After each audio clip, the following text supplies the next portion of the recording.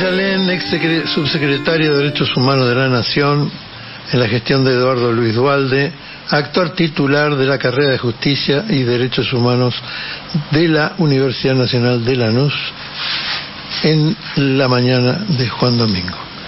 Hoy es un día que cuesta mucho hablar, yo tenía pensado hablar de otras cosas, he pensado hacer un link entre lo que fue el está derivado y lo que fue el retorno de, Perón en el 72, no como los símbolos de lo que es la resistencia nacional, pero esta, esta noticia bueno, me ha dejado el alma hecha pedazos.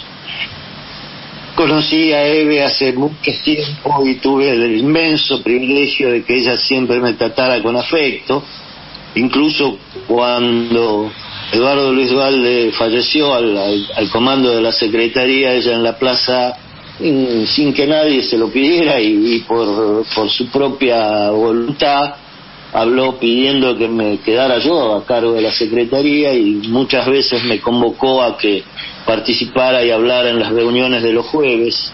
Era la ética insobornable, los principios que no se claudican, que no se entregan, que no se negocian no era solamente una referente de los derechos humanos, que por supuesto sí eh, lo era, sino mucho más.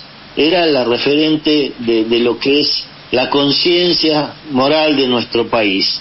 Hoy estamos huérfanos, hemos perdido el faro que nos dio en todas estas luchas, hemos perdido la referente a la cual escuchar cuando uno tenía alguna duda, cuando uno tenía no sabía cuál era el camino que tomar, sabía que había que, hablar con ella y escucharla.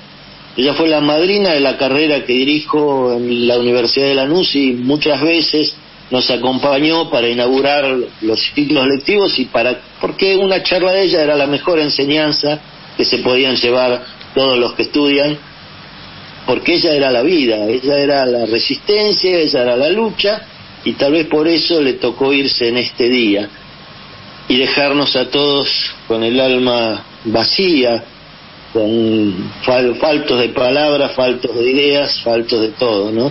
Siempre vamos a recordar, ¿no? Esas, esas, esos jueves y esos discursos donde ella señalaba el camino, decía es por acá y nunca se equivocaba. Finalmente era, era, era ese el camino que había que seguir. Así que yo les voy a pedir que me disculpen, pero realmente hoy no tengo muchas palabras que decir, tengo un enorme dolor y un profunda, una profunda tristeza porque se nos ha ido la madre de todos. Así que gracias compañeros. Fuerte abrazo, Luis Alén. La mañana del domingo con Martín García. Hay que ir persuadiendo si es preciso de a uno para que cada uno sepa sacrificar un poco de lo suyo en bien del conjunto. Predicamos con el ejemplo, que es la mejor de todas las prédicas.